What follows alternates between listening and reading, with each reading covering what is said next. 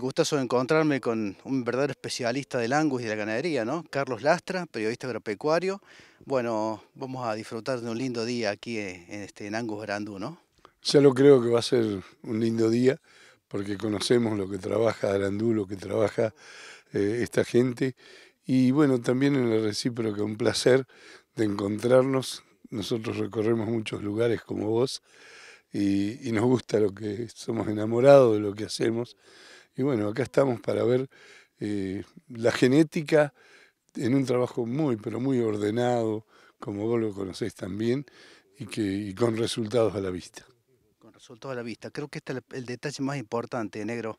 Este, vamos entonces a disfrutar de, lo que nos ofrece Arandú para este día, que son animales que van a competir mayormente en la exposición Angus de Otoño, pero que después se van a vender en el remate Rústicos Premium, en la Sociedad de Tandil y por supuesto con transmisión por Canal Rural. ¿No es así, negro? Exactamente, el viernes 23 de junio por Canal Rural, tipo 2 de la tarde, seguramente va a comenzar la venta.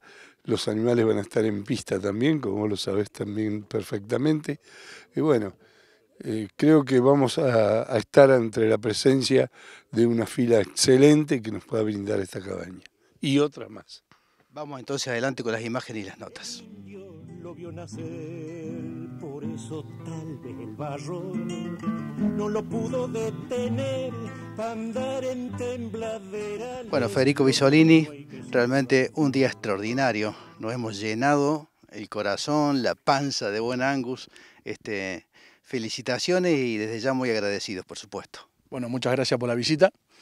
Y bueno, nosotros les mostramos lo que estamos produciendo, que es lo que nos gusta a nosotros. Eh, es un animal que, como por ahí yo te lo he dicho en otros reportajes, lo que estás viendo acá son animales que van a la exposición, a su vez van al remate rústico y son animales también que usamos nosotros en, los campos de cría, o sea que, que para nosotros es un animal productivo, con mucha carne, hueso, largo de costilla y bueno, es el animal que nos gusta a nosotros.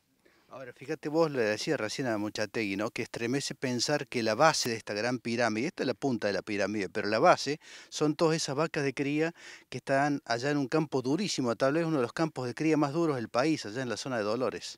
Sí, es uno, uno de los campos que está en la cuenca del Salado, que es un campo duro, eh, y era lo que veníamos hablando, realmente estos toros se adaptan muy bien, tanto como la vaca, nosotros no tenemos una vaca chica, tenemos una vaca que cuando se carga al mercado pesa 500 kilos, y era lo que te estaba diciendo, las vacas se preñan, tenemos un ternero todos los años, y, y esto realmente funciona en producción, que me parece que es lo más importante, porque hoy por hoy cuando el productor está gastando en un toro o en un, un, animal como una vaca pura controlada, una ternera, le tiene que funcionar y lo tiene que tener a través de los, de los años y tiene que ver después su diferencia eh, cuando compró un toro de Pedri y destetó un ternero y tiene 20, 25, 30 kilos más.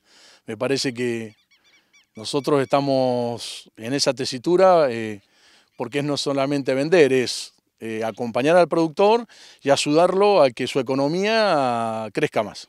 ¿Tiene que ver esa suerte de prepotencia sexual, que ese suerte de dimorfismo que vemos en los machos y en las hembras, los machos con fuerte carácter masculino, con fuerte carácter expresivo masculino, diría yo, y la hembra también bien femenina, tiene que ver con la fertilidad, tiene que ver con la precocidad. La mayoría de los machos son, vos lo ves, la cabeza de macho, eh, la, parada del animal, eh, que bueno, a nosotros nos encanta, esa es la realidad. Y bueno, vos dijiste, mira qué linda cabeza, mira, mira la expresión de macho que tiene. Eh, pero bueno, eso es lo que estamos haciendo nosotros hoy en Arandú. Eh, nosotros en la cabaña hacemos no solamente el tema testicular, sino eh, se hace prueba de semen. Eh, el toro que no está apto no se vende, esa es la realidad. Entonces trabajamos, tratamos de trabajar lo más seriamente posible y tratamos de ayudar a nuestro cliente y, que tenga confianza en nuestro producto y que nos vuelva a comprar, que gracias a Dios es lo que nos está sucediendo.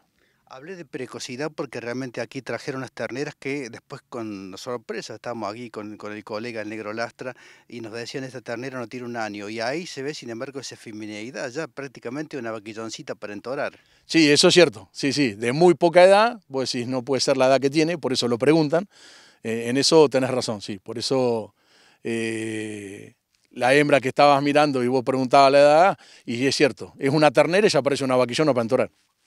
Ahora bien, estos animales son de exposición y de hecho van a ir a competir, se van a ir a mostrar, se van, van a ir a mostrar toda su expresión Angus a la exposición Angus de otoño, pero se van a vender en el remate Rústicos Premium en junio, eh, por supuesto en este mes de junio, en la Sociedad Rural de Tandil el día 23 de junio.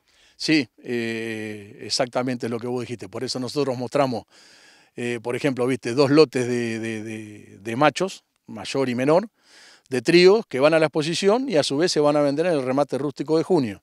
Y también hay tres o cuatro animales que son eh, individuales que se van a vender también en el remate de, rústico. Esa es la realidad.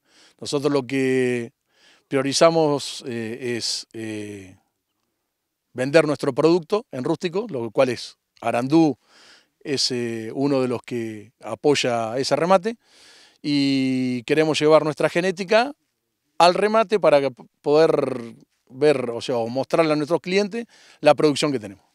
Arrancamos con un grupo de productores eh, a formar rústico que nos llamó Sergio Amuchategui y bueno, y seguimos esos mismos productores y seguimos luchando por la genética y para seguir adelante y para producir un animal fenotípicamente que le sirva a nuestra clientela. Nosotros estamos en una tesitura de no frenar la cabaña, seguir con todo lo que tenemos programado porque eh, yo creo que esto a la larga eh, se paga.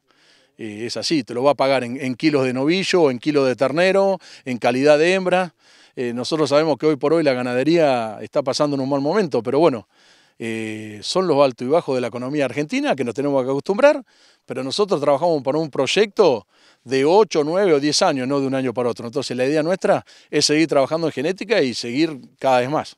Bien, acá hay entonces genética productiva, que sin embargo tiene estos animales fenotípicamente perfectos, hermosos, y producen. Lo vamos a ver expresándose, mostrándose, compitiendo en la exposición Angus de Otoño en Buenos Aires, y aquellos que ya lo estén orejeando como que les interesa, van a poder acercarse a las instalaciones de la Sociedad Rural de Tandil o seguir el remate a través de la pantalla de Canal Rural para el 23 de junio. ¿Es así?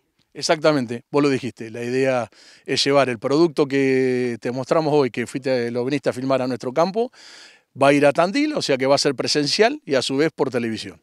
O sea, el que pueda ver, eh, ir al remate, realmente eh, nos encantaría que nos acompañaran y el que no puede por distancia o porque realmente se le complica por su negocio, lo va a poder ver a todos estos animales por televisión. Es una suerte de privilegio este que estamos participando hoy aquí, porque creo que antes que nadie estamos viendo estos animales y estamos convidando con esto ¿no? a los amigos que nos siguen a través de las redes sociales y a través del canal rural. Acá está la primicia. Esto es lo que va a llevar a Arandú a la exposición Angus de Otoño y también al remate. Así que muchísimas gracias por esto, Federico. Realmente nos sentimos privilegiados por tener esta satisfacción de estar este día en Arandú. Bueno, muchas gracias a ustedes y realmente te, te felicito por el programa y estoy muy agradecido que hayas venido a acompañarnos en este día. Cuando no pudo llegar